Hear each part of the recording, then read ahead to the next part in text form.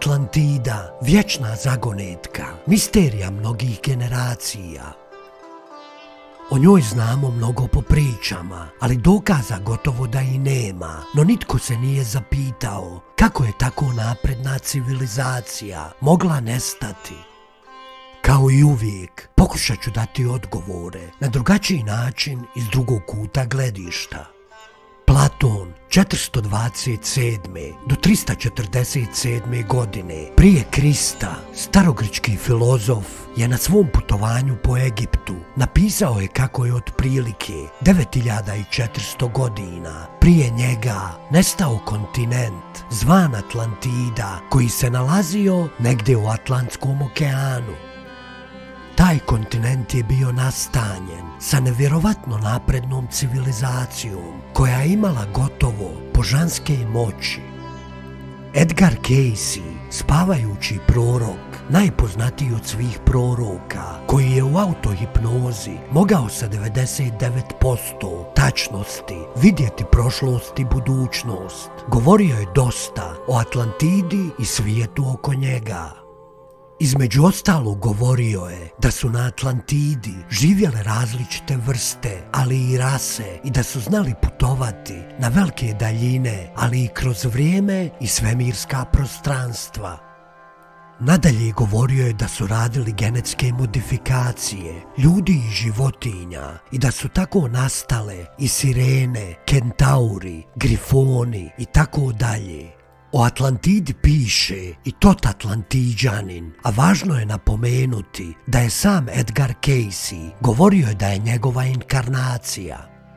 Tot Atlantiđanin piše da su na otoku bila i bića svjetlosti visoko rangirana do samog stvoritelja koja su ga uvela u tajne svega što postoji. Za sada tu stajemo što se tiče opisa same Atlantide, jer o njoj ste sigurno puno čitali, ali i gledali razne video materijale. No zašto je ona nestala pod uvjetom da je i postojala? Znanstvenici tvrde da je velika vjerojatnost da je postojala, ali da je potonula iznenada zbog eksplozije podzemnih plinova. No da li je tomu tako u istinu?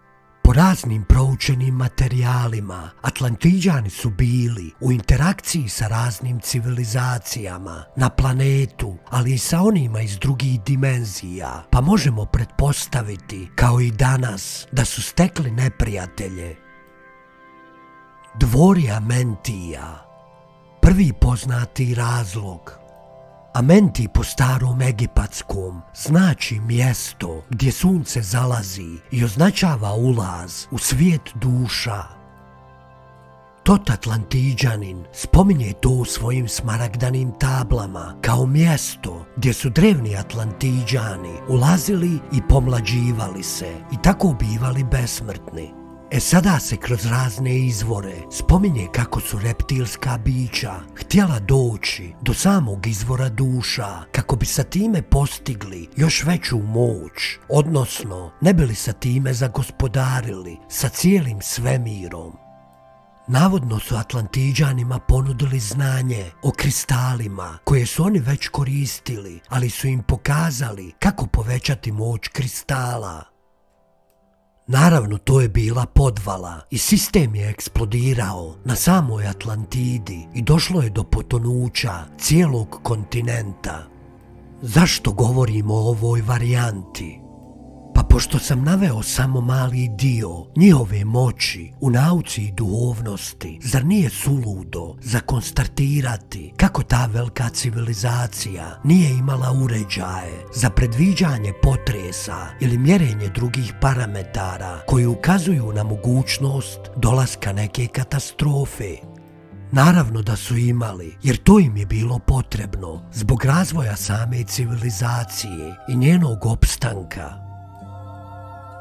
Heleni. U ovom slučaju mislim na stanovnike drevne Grčke sa kojima su Atlantiđani bili u sukobu, a rat su navodno izgubili upravo oni. Ti Heleni su u biti bili drevni, takozvani bogovi Olimpa, odnosno sami Anunnaki.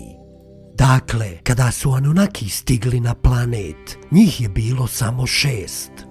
Naravno, pošto su na planet dolazili mnogi, oni nisu predstavljali opasnost. Osim toga, po sumeranskim glinenim pločicama piše da su Anunnaki sletjeli u Sumer, odnosno Mezopotamiju, a da je to područje bilo močvarno i nenaseljivo. Anunnaki su to područje godinama kultivirali i polako naseljavali do broja kada su postali respektibilna sila i opasnost. U glinenim tablicama drevnog Sumera također piše da su i oni sa nekom tehnologijom željeli prodrijeti unutrašnjost zemlje zbog duhovnog svijeta, ali su i ta moćna bića porazila sa lakoćom i zatvorila ulaz u njihov svijet. Da su Anunnaki imali prste u potopu, piše i sama Biblija, sa razlikom u tome što oni Anunnaki kralja nazivaju bogom Jahvom, što nije tačno, jer u par navrata u spisima se navodi kako su Anunnaki tražili da ne kleće pred njima, jer jednostavno nisu bogovi. U priči o Noji i potopu govori se kako je Noa tačno znao kada će se potop dogoditi, što bi značilo da je bio namjerno izazvan. Neprirodna katastrofa, jer to bi znali i Atlantiđani, pa bi napravili evakuaciju, jer imali su i vremena i tehnologiju da to učine. Dakle, možemo zaključiti da je to bilo namjerno. Sama svjetlosna bića koja su obitavala u dvoru na površini Atlantide, po pisanju Tota Atlantiđana, upozorila su ga da će doći do toga i čak su mu rekli što da učini, a oni da će otići i napustiti Atlantidu. Marsovci Treći razlog po jednoj teoriji, koja ima uporište u nekim zapisima, bili su stanovnici planete Martek, odnosno Marsa po našem. Oni su morali napustiti svoj planet jer je bio uništen u borbi sa jednom drugom civilizacijom, navodno reptilima. Njihov planet je bio poput našeg, tako da je Zemlja bila adekvatna zamjena. Marsovci su bili više agresivni, Atlantiđani više mirni, pa je nakon nekog određenog vremena došlo do sukoba.